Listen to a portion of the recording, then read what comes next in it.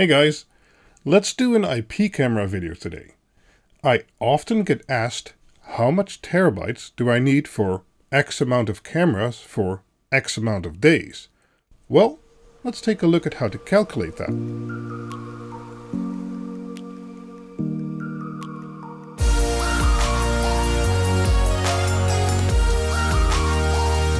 Okay, so I'm going to start by beating this issue down immediately.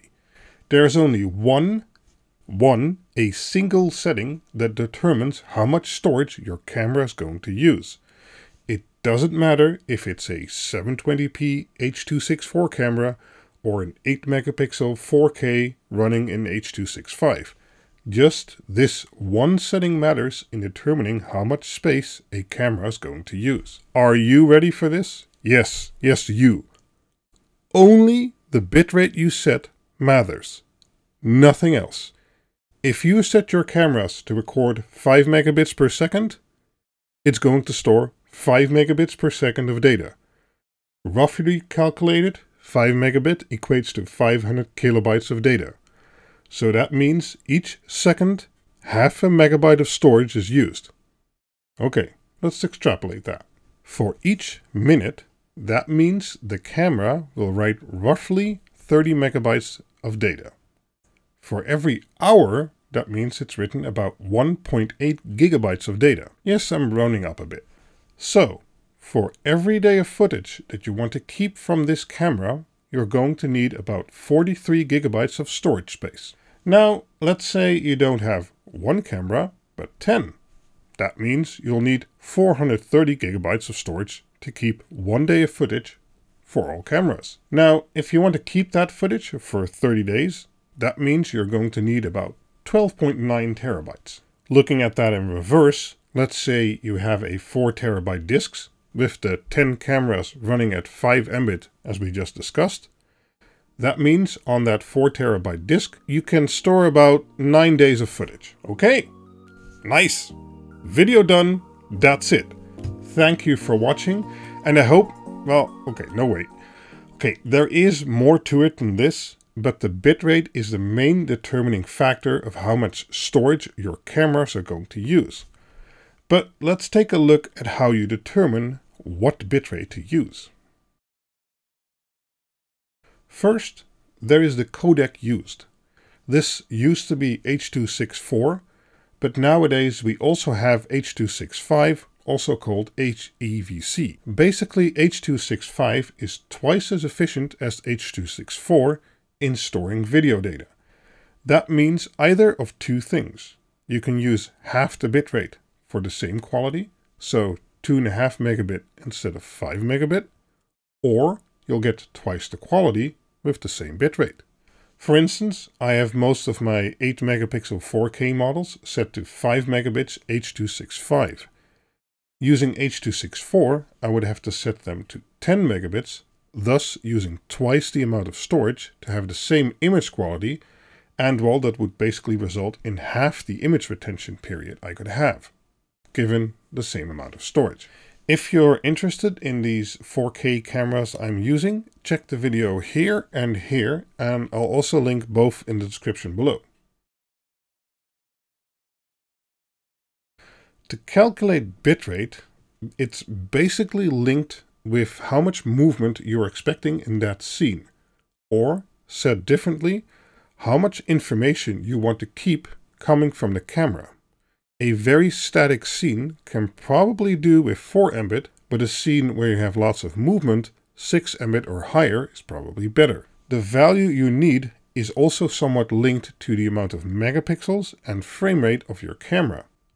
More megapixels and or frame rate means more information is available, so a higher bitrate might be needed to preserve that information.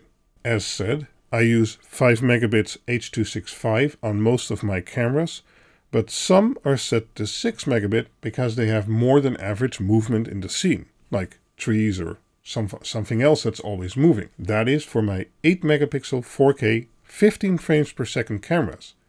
I also have some 4K 30 frames per second cameras, which again have more information. So I set those to 8 megabits H.265 instead of 5 or 6 megabits to get a decent quality and not lose too much due to the compression. Something I wanted to highlight shortly is there's also something called a smart codec you can often turn on and off above selecting H.264 or H.265. These generally should only be used if you have a camera of a certain brand combined with an NVR of the same brand. And these can improve efficiency, so use less storage for the same quality, or improve quality above H.264 and H.265. Then there's also something called VBR. Generally, we use something called CBR, which stands for constant bitrate. VBR stands for variable bitrate and is a mechanism that can vary the bitrate on what is needed at that time. This can result in reduction of storage or a higher image quality, but most people set VBR mode to the highest setting, which causes it to behave almost the same as CBR. I haven't seen a huge difference in, in, testing, so I mostly use CBR so I know what to expect. What can save storage is using motion detection. But this isn't without its own caveats. If motion detection doesn't detect the event you want to record, you're left with no images. There are, however, techniques which kind of mitigate that a little bit. I use NX Witness as my NVR software, and I've done some uh, videos about that. And in NX, I can set my schedules to do high-low recording.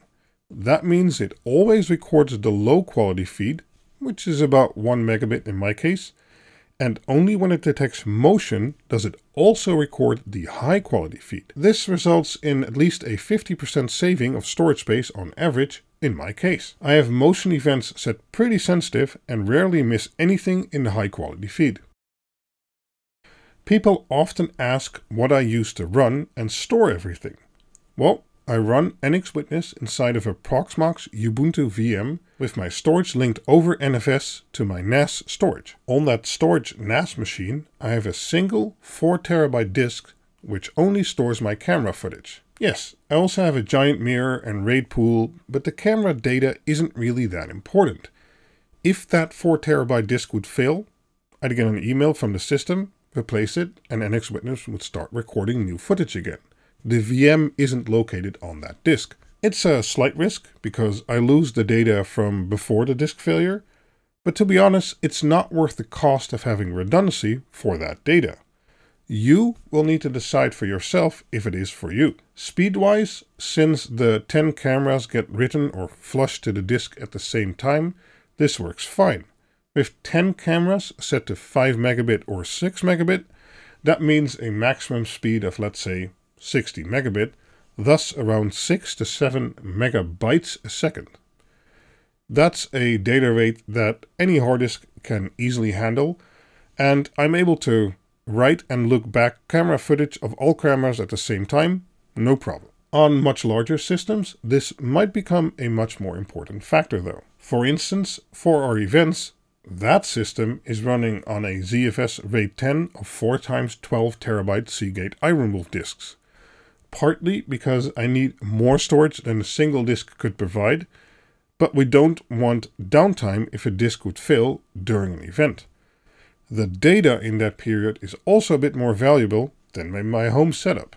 Last thing I wanted to mention is that certain vendors now have special disks for surveillance usage Although I haven't tested one personally, I believe these to be their normal NAS variant disks with slightly tuned firmware to be able to handle parallel writes of lots of cameras better. In that regard, I have had good experience with Seagate IronWolf disks, such as my 4x12 terabytes I use for the events, so I expect their Skyhawk line to work just as well, and they're often cheaper than normal or regular NAS disks. If you're looking for a disc, I'll uh, have some linked in the description, and, well, those are affiliate links, so if you would buy one, that would help me out. Well, that's basically most I wanted to say about that. So yes, megapixel, resolution, frame rate, codec, and everything else determines what bitrate you need. But bitrate is the only thing that determines how much storage you're actually going to use. As I mentioned, there are techniques like motion detection and high-low recording which can reduce what you use, but those aren't always an option. For instance, at our events, we record high-quality footage 24 hours a day, because it's not worth it to potentially miss anything because of trying to save storage. So, bitrate it is. Determine the bitrate you want to use for your cameras and then you can calculate how much storage you are going to need. It's as simple as that. If you are done watching this, make sure to check out my other IP camera related videos, such as my 4K IP camera comparisons, my video about PoE, or my videos about NX Witness and VR software. If you have any more questions about this topic and IP cameras, let me know down in the comments or maybe join our Discord server. Thank you for watching and see you next time. Bye bye.